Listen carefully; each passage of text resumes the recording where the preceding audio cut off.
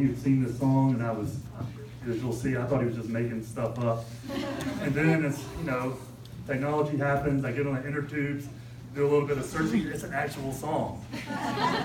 And so I find it, play it for my mom and him, and, and it's been fun for us to sing ever since. I'll give a little bit, tell your, your background on it, why you were singing it. Well, just kind of comforts me. I was gonna learn every number ten songs. Well, this one came on, you know, in back in, where's it, forty years? ago. In the fifties. Maybe sixty. And I said, I'm gonna learn, so this one came up. So I started really hard to get the words down. Now, I'm fifty-three, so I might follow through some of this, but even. And, uh, Anyway, it's been real good to sing anytime you want to, it's kind of a living song. And, you know, it means a lot to me and my family.